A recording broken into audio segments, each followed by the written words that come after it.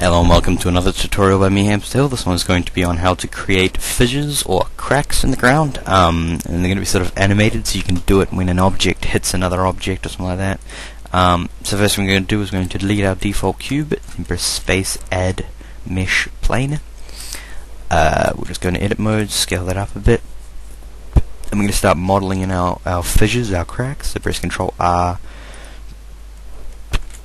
um, to create an edge loop um, create two of them close together and then create a third one in the middle of them um, and that'll be one fissure.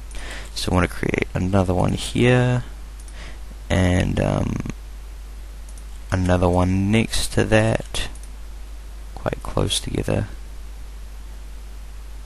And they all have to have two outer lines and then one line in the middle of them. Uh, so I have that'll make what like six cracks. Yep, that works. Six cracks. That'll that'll be fine. Um, so then just scale these outside ones to make it so that the outside is smaller than the inside.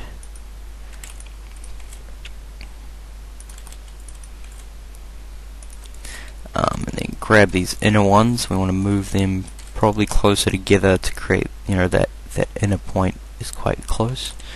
Um, move say maybe these down, move that up.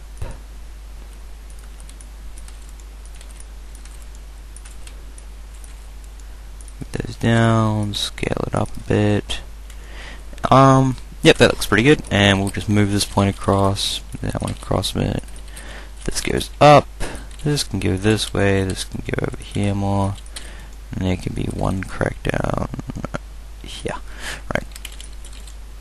Cool, so now we need to add some more edge loops, so go Control R, and um, say add three edge loops this way, three edge loops this way, and just move them around a bit to create your cracking effect.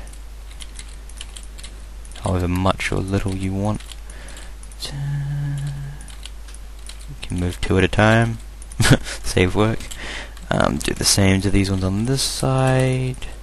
You can scale them up or down if you feel that that's a good idea. Cool, so um, we've got our fissure all worked out, so um, we need to add some more lines for detail now, um, because of how the effect works, we need more vertices in this. Um, so a quick way to do that is just press Ctrl R, scroll up a bit um, until you get a few lines for each of these, and then just do that across all the fissures. So, so there we down here, another few here, another few there, another few there, a few more here. Scroll up click, Control R, scroll up, click, and cool. So we got plenty of vertices now for us to work with within these fissures. Um, then we need to select this center line of all these fissures. So press Control, uh, press Alt, Shift, and then right click to grab that center line, and then um, holding down both of those still, select those other lines. So now we have. Let's make sure nothing else is selected first. Um, Alt right click and then shift so you get all of them. So if you move it down you can see that those are in fact the center lines of all our cracks and they move down and it looks pretty good. Um, that middle stuff looks a little screwed. You can fix that by having two lines in each of them but I'm just doing this as a quick tutorial so you can figure out better and faster ways to do them yourself. Um, cool, so we've got all those points selected, so add a new vertex group. We're going to name it crack and um, make sure you remember that it's all in caps. Well, mine is all in caps because I had caps lock on. And then click assign. You have to make sure you click assign, otherwise it won't assign it. Um, cool, so now that we've done that, we can space add lattice down here.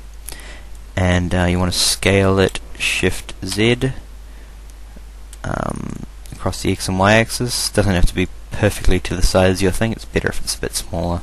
Um, you'll be adjusting that a bit later. Um, we want the U and the V to be 5 and W to be 4. Um, yeah, so that, that's going to do what we want it to do.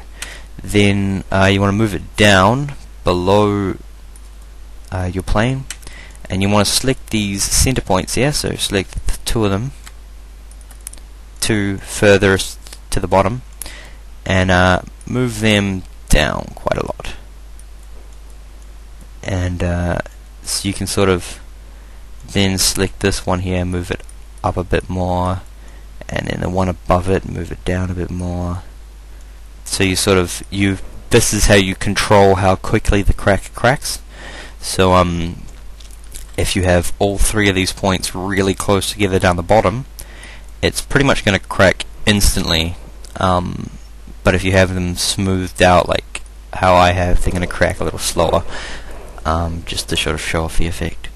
Um, but make sure you only move that center line because if you move these outer ones, then you're not going to be able to control uh, where the crack is on your um, on your plane because we don't want it to go all the way to the edges because you'll find 90% of the time um, your crack is just going to be in, in a small area of your your larger object.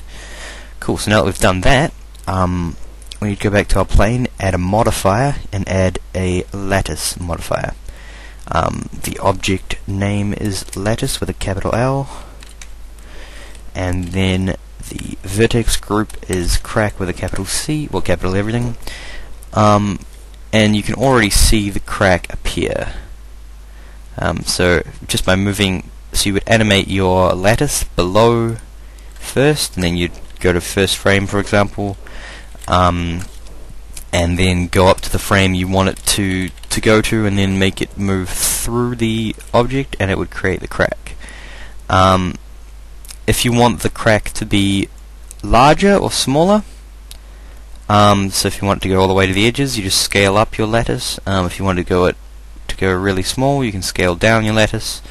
Um, you can do a few other things, like you can move it, make it so it moves sideways and stuff by moving a few of these points. But that's pretty much the effect there. So um, just by moving this lattice up and down, animating it obviously, um, you can create the the cracks animatedly. So yeah, so I um, hope you enjoyed this tutorial, and um, I will see you again next time.